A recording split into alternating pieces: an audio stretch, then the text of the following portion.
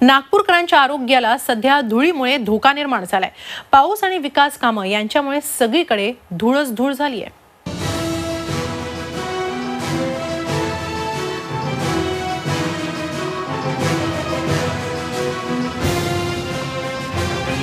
नागपूरच्या रस्त्यांची ही अवस्था.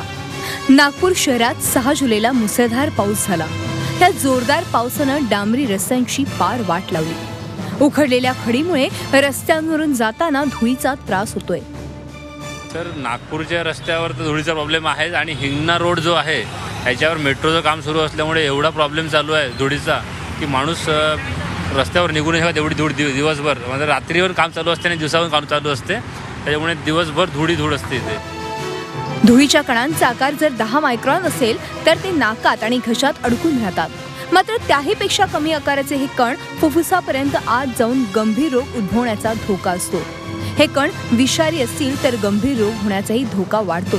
आता लवकरच डागडुजी करू असं उत्तर महापालिकेने दिलंय. कणाची साईज दहा मायक्रॉन वगैरे असेल म्हणजे बऱ्यापैकी मोठे असतील मायक्रॉनमध्ये तर ते नाकात आणि तोंडात घशात थांबतात. कधी काही हे कण डोळ्यात गेले तर डोळ्यावर खाज येणे डोळे खाजवणे डोळे लाल होणे कानात गेले तर ऐकायला कमी येणे आणि नाका किंवा तोंडात गेले तर खोकला आणि सर्दी होणे हा आजार होतात. त्या त्या झोनमधले जे आपले जेई आहे हे जेई आणि हेल्थची टीम याचे माणसं लावून आपण तो रस्ता क्लीन करू. त्या संदर्भात आवश्यक सूचना उद्या या ठिकाणी मी बैठक घेऊन त्या संबंधित विभागाला देतो. आपण प्रयत्न करू की त्या पावसामुळे झालेल्या ह्या सगळ्या प्रकाराला क्लीन करायचा आपण प्रयत्न करू. नागपूर शहरात मेट्रोसह बरीच विकास कामं मोठ्या प्रमाणात सुरू आहेत पण त्यामुळे धुळीचा धोकाही वाढलाय. महापालिकेनं वेळीच याकडे लक्ष देण्याची गरज आहे. Jitendra शिंगाडेसह bureau report Zee Media Nagpur.